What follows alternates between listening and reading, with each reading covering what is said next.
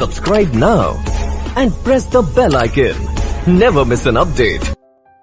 ନୀଳକଣ୍ଠ ଦାସ ଓଡ଼ିଶାର ପୁରୀ ଜିଲ୍ଲାର ସାକ୍ଷୀଗୋପାଳଠାରେ ଅଠରଶହ ଚଉରାଅଶୀରେ ଜନ୍ମିତ ଜଣେ ଲେଖକ ସାମ୍ବାଦିକ ଓ ସ୍ୱାଧୀନତା ସଂଗ୍ରାମୀ ତାଙ୍କୁ ଶ୍ରଦ୍ଧାରେ ପଣ୍ଡିତ ନୀଳକଣ୍ଠ ଦାସ ବୋଲି ମଧ୍ୟ ଡକାଯାଇଥାଏ ଶିକ୍ଷା ଓ ଜୀବନ ପଣ୍ଡିତ ନୀଳକଣ୍ଠ ଦାସ ଜଣେ ମେଧାବୀ ଛାତ୍ର ଥିଲେ ଭର୍ଣ୍ଣାକୁଲାର ପରୀକ୍ଷାଠାରୁ ଆରମ୍ଭ କରି ରେଭେନ୍ସା କଲେଜରେ ବିଏ ପରୀକ୍ଷା ପର୍ଯ୍ୟନ୍ତ ସେ ଓଡ଼ିଶାରେ ପ୍ରଥମ ହୋଇ ଆସିଥିଲେ ଦର୍ଶନ ଶାସ୍ତ୍ର ଓ ରସାୟନ ବିଜ୍ଞାନ ବିଷୟକୁ ନେଇ ବିଏ ପରୀକ୍ଷାରେ ଉତ୍ତୀର୍ଣ୍ଣ ହୋଇଥିଲେ ପରେ ମାସିକ ବୃତ୍ତି ପାଇ ନୀଳକଣ୍ଠ ଦର୍ଶନ ଶାସ୍ତ୍ର କଲିକତା ବିଶ୍ୱବିଦ୍ୟାଳୟରୁ ସ୍ନାତକୋତ୍ତର ଉପାଧି ହାସଲ କରିଥିଲେ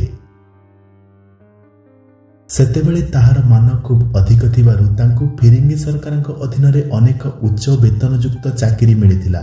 କିନ୍ତୁ ପଣ୍ଡିତ ଗୋପବନ୍ଧୁ ଆଚାର୍ଯ୍ୟ ହରିହର ଓ ପଣ୍ଡିତ ନୀଳକଣ୍ଠ ଭାର୍ଗବୀ ନଈର ବଢ଼ି ପାଣିରେ ହଇଜାରେ ମରି ଭାସି ଯାଉଥିବା ଶବଗୁଡ଼ିକୁ ଦେଖି ଶପଥ ନେଇଥିଲେ ସରକାରୀ ଚାକିରି କରିବା ନାହିଁ ଏଇଲେ ଦେଶକୁ ଯେମିତି ଦେଖୁଛେ ମଲାବେଳକୁ ଆହୁରି ଭଲ ଦେଖି ମରିବା ଅନଗ୍ରସର ମୁକ ଓଡ଼ିଆ ଜାତିର ପାଟିରେ ଭାଷା ଦେବା ପାଇଁ ସତ୍ୟବାଦୀ ବନବିଦ୍ୟାଳୟ ଉଣେଇଶହ ନଅରେ ପ୍ରତିଷ୍ଠା ହେଲା। ଓ ମାସିକ ତିରିଶ ଟଙ୍କା ବେତନରେ ସତ୍ୟବାଦୀ ବନବିଦ୍ୟାଳୟର ପ୍ରଧାନ ଶିକ୍ଷକ ଭାବରେ କାମ ଆରମ୍ଭ କରିଥିଲେ। ରଚନାବଳୀ। ପଣ୍ଡିତ ନୀଳକଣ୍ଠ କବିତା ପ୍ରବନ୍ଧ ଓ ଶିଶୁ ସାହିତ୍ୟ ସାମ୍ବାଦିକତା କ୍ଷେତ୍ରରେ ନିଜର ଅବଦାନ ଛାଡ଼ି ଯାଇଛନ୍ତି। ଶିଶୁ ସାହିତ୍ୟ କ୍ଷେତ୍ରରେ ତାଙ୍କର ଅବଦାନ ଦୃଷ୍ଟିରୁ ବିଶିଷ୍ଟ ସାହିତ୍ୟିକ ସୁରେନ୍ଦ୍ର ମହାନ୍ତି ତାଙ୍କୁ ଶିଶୁ ସାହିତ୍ୟର ଆଦ୍ୟସ୍ରଷ୍ଟା ବୋଲି କହିଛନ୍ତି। ଭାଷାବିଦମାନଙ୍କ ମତରେ ଦାସ ପ୍ରଥମ ଓଡ଼ିଆ ଭାଷା ବିଜ୍ଞାନୀ। ରଚିତ କବିତା କୋଣାର୍କେ ଖାରବେଳ ଓ ମାୟାଦେବୀ। ତାଙ୍କ ରଚିତ ପ୍ରବନ୍ଧ ଆର୍ଯ୍ୟ ଜୀବନ ଓଡ଼ିଆ ସାହିତ୍ୟର କ୍ରମ ପରିଣାମ ଶ୍ରୀମଦ୍ ଭଗବଦ୍ ଗୀତାର ଭୂମିକା ଓଡ଼ିଆ ଭାଷା ଓ ସାହିତ୍ୟ ସଂସ୍କୃତି ଓ ସଂସ୍କୃତି ଲାବଣ୍ୟବତୀର ଟୀକା ଶିଶୁ ସାହିତ୍ୟ ପିଲାଙ୍କ ରାମାୟଣ ପିଲାଙ୍କ ମହାଭାରତ ପିଲାଙ୍କ ଭାଗବତ ତାଙ୍କର ଅନୁବାଦ। ଲର୍ଡ ଟେନିସନଙ୍କ କବିତାରୁ ଓଡ଼ିଆରେ ଦାସ ନାୟକ ଓ ପ୍ରଣୟିନୀ ନାମରେ ଅନୁବାଦ କରିଛନ୍ତି। ସାମ୍ବାଦିକତା। ସମାଜର ସମ୍ପାଦକ ନବଭାରତର ସମ୍ପାଦକ ସାପ୍ତାହିକ ଲୋକମତର ପ୍ରତିଷ୍ଠାତା ଉତ୍କଳ ସାହିତ୍ୟ ସମାଜର ଆଜୀବନ ସଭ୍ୟ। ସେ ଗୀତାର ଓଡ଼ିଆରେ ଟୀକା ଲେଖିଥିଲେ। ଏହାଛଡ଼ା ଓଡ଼ିଆ ଭାଷା ଓ ଲିପିର ସୁଧାରରେ ସେ ଅନେକ ପଦକ୍ଷେପ ନେଇଥିଲେ। ବିଜ୍ଞାନ ସମ୍ମତ ବିଶୁଦ୍ଧ ଓଡ଼ିଆ ବ୍ୟାକରଣ ପୁସ୍ତକର ରଚୟିତା। ଓଡ଼ିଶା ପ୍ରଦେଶ ଓ ଭାଷା ଆନ୍ଦୋଳନ। ଓଡ଼ିଆ ଭାଷାକୁ ବାକି ପଡ଼ୋଶୀ ଭାଷାଭାଷୀମାନଙ୍କ ଆକ୍ରମଣରୁ ଅଲଗା କରି ସ୍ୱତନ୍ତ୍ର ଭାଷାର ମର୍ଯ୍ୟାଦା ଦେବାରେ ସେ ମୁଖ୍ୟ ଭୂମିକା ନିଭାଇଥିଲେ।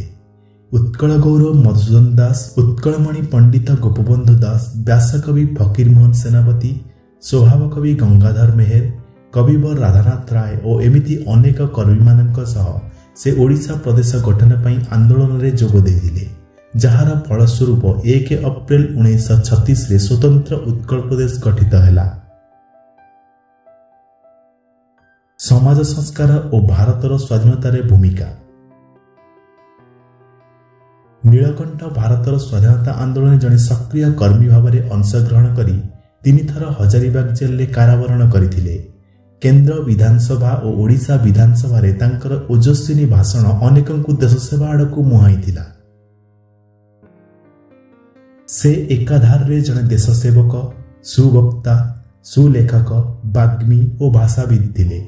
ଜଣେ ସକ୍ରିୟ ସ୍ୱାଧୀନତା ସଂଗ୍ରାମୀ ଭାବରେ ସେ ଛୁଆଁ ଅଛୁଆଁ ଭେଦଭାବ ଓ ନାନାଦି ସାମାଜିକ କୁସଂସ୍କାର ବିରୁଦ୍ଧରେ ସ୍ୱର ଉଠାଇଥିଲେ। ପଣ୍ଡିତ ନୀଳକଣ୍ଠ ଜାତିଭେଦ ମାନୁନଥିଲେ ଓ ନିଜ ଛାତ୍ରମାନଙ୍କୁ ମଧ୍ୟ ସେହି ଶିକ୍ଷା ଦେଉଥିଲେ। ସେତେବେଳେ ବ୍ରାହ୍ମଣ ସମାଜରେ ଦାଢ଼ି କାଟି ନିଶ ରଖିବା ମନା ଥିଲା। ଏହାର ପ୍ରତିବାଦ କରି ସେ ଦାଢ଼ି କାଟି ନିଶ ରଖିଥିଲେ। ଏଥିପାଇଁ ସେ ଶାସନୀ ବ୍ରାହ୍ମଣ ସମାଜର ଘୋର ବିରୋଧର ସମ୍ମୁଖୀନ ହୋଇଥିଲେ ଓ ତାଙ୍କୁ ଦାଢ଼ି ରଖିବାକୁ ପଡ଼ିଥିଲା। ଏହି ପ୍ରଥାକୁ ବିଦ୍ରୁପ କରି ସେ ମୋ ନିଶ ନାମରେ ପ୍ରବନ୍ଧ ଲେଖିଥିଲେ। ସମ୍ମାନ।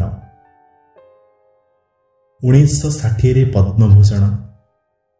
ତାଙ୍କର ବହି ଆତ୍ମଜୀବନ ନିମନ୍ତେ ଉଣେଇଶହ ତେଷଠିରେ ସାହିତ୍ୟ ଏକାଡେମୀ ପୁରସ୍କାର ଉତ୍କଳ ବିଶ୍ୱବିଦ୍ୟାଳୟ ତରଫରୁ ଡି ଲିଟ୍ ପୁରସ୍କାର ଏବଂ ଉଣେଇଶହ ଏକାବନ ମସିହାରେ ଉତ୍କଳ ଗୁରୁ ଉପାଧି।